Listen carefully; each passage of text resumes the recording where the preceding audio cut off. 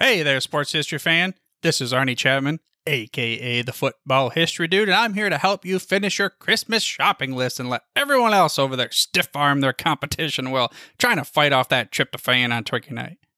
Now, what we did was we partnered with Rochester Sports Autographs, the largest JSA authenticated autograph distributor in the United States, where you can get up to 75% off over 30,000 autographed sports collectibles during this holiday season. They have something for everyone. But how is RSA able to offer such great deals on JSA authentication, you ask?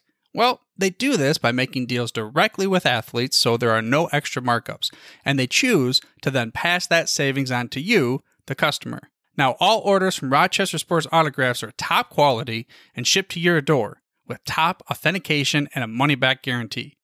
But hurry up because customers are so stark raving mad for RSA that memorabilia sells out daily. All you have to do is head over to shoprsa.com forward slash SHN. Again, that's shoprsa.com forward slash SHN. So don't wait to bring home your favorites and own a piece of sports history for you and the loved ones on your shopping list this holiday season. Now it's time to take a sports break, a look at sports history on a daily basis. Hello, my friends of sports history. This is Darren Hayes of the Sports Jersey Dispatch. Welcome once again to the Pigpen, your place for all things great in sports history, and welcome to your sports break for November 23rd, as we're going to talk about some of the greatest athletes that had some great moments in sports history on November 23rd and the jersey numbers that they wore that day.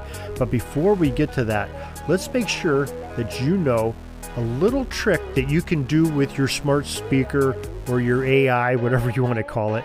You all you have to do is you know hit your keywords for whatever smart speaker that you have and say, "Hey, take me to the latest podcast episode of Jersey's Dispatch or of Pigskin Dispatch," and it'll take you right to those episodes. You're hands free, and it'll play right through your speaker. If you're sitting there doing some work in the kitchen or you know doing changing the tires on the car or whatever in the garage, real easy way to do it, and uh, I think you'll find it very handy to do.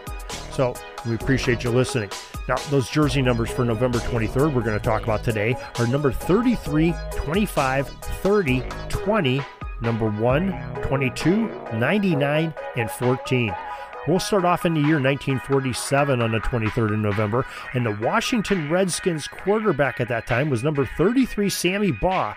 And on this day, against the Chicago Cardinals, sorry, Joe Ziemba, he threw six touchdowns in that game in a 45 to 21 Redskins victory.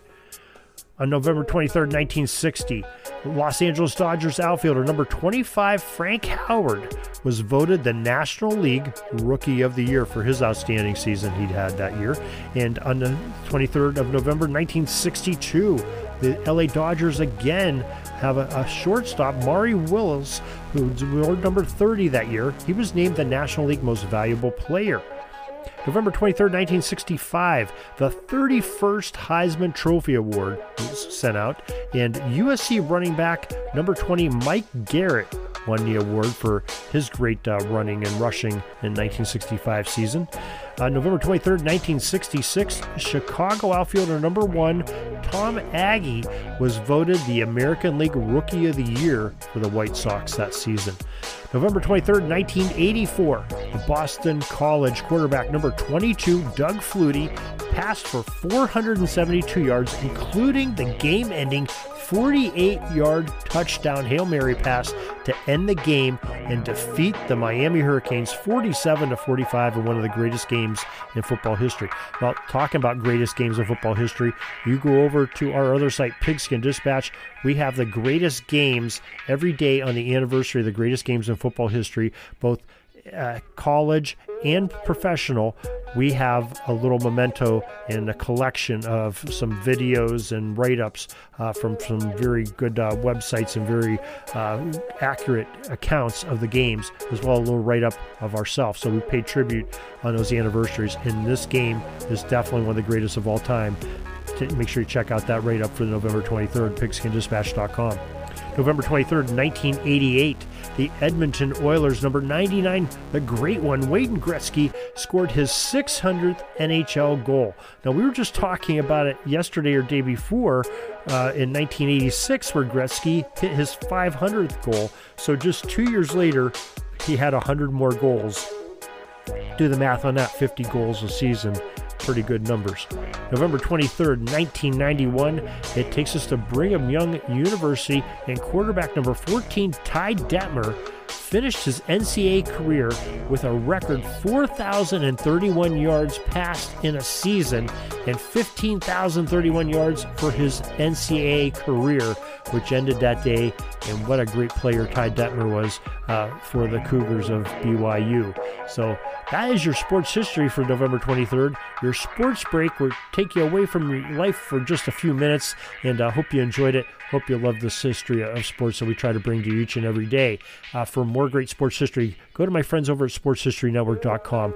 Just uh, some great podcasters with some great guests and hosts talking about sports history of all eras and genres and sports. And I think you'll really enjoy some of the topics they're talking about there. There's thousands of hours of recording there, including our podcast, Jersey Dispatch, Pigskin Dispatch, and we're part of Orville Mulligan Sports Writer too. That is on Sports History Network as well. If you want to focus on football, we have our Pigskin Dispatch website that we talked about just a little bit ago. Something new on there every single day of the year talking about football history. And of course, jerseydispatch.com, home of this podcast, uh, home website. And uh, we're going to be really building that up here in the coming year as well. So, till tomorrow, everybody, have a great sports history day. We're dribbling around and see the shot clock's almost out, so we got to put up our shot and come back tomorrow for some more great sports history. We invite you to check out our websites, jerseydispatch.com and pigskindispatch.com, not only see the daily sports history, but to experience the preservation of great events and people that play the games. Find us on Pigskin Dispatch. It's also on social media outlets of Facebook, Twitter, Instagram, and don't forget the Pigskin Dispatch YouTube channel to get all your daily sports history. Pigskin Dispatch is happy to be associated with the Sports History Network, the sports headquarters of yesteryear, found at sportshistorynetwork.com.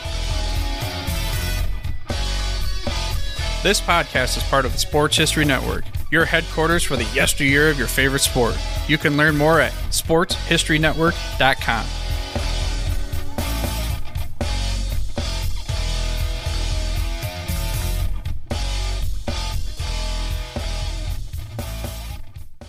Hey there, sports history fan.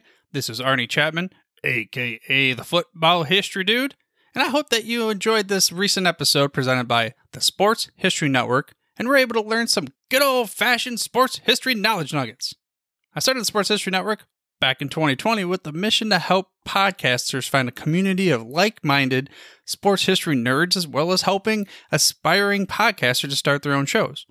We have a little bit over 30 shows on the network right now covering all sorts of sports history, but as far as I'm concerned, we're just at the toothpick in the ocean moment, you know, that can't even figure it out because there's so much more coming we wanted to create the ultimate headquarters for sports yesteryear, starting with Podcast Network and our website, but we're going to continue to move into other mediums as well. And here's the cool part because we want you to be part of our team. So if you're interested in starting your own podcast, or maybe being a guest on one of our shows, or who knows, maybe even writing an article for us over on the website. Seriously, all you got to do is reach out to us on the contact page over at sportshistorynetwork.com. You can be as technologically savvy as a Neanderthal tapping on a stone trying to figure out this whole hieroglyphics thing back in the day. Again, it doesn't matter because even if you don't understand the whole podcast space, we have a production team that can pretty much help you out with doing everything. All you got to do, head over to sportshistorynetwork.com, head to the contact page, fill it out. That message goes right to me, and I'll reach out to you as soon as I can. But for now, dude, I'm through if you're through.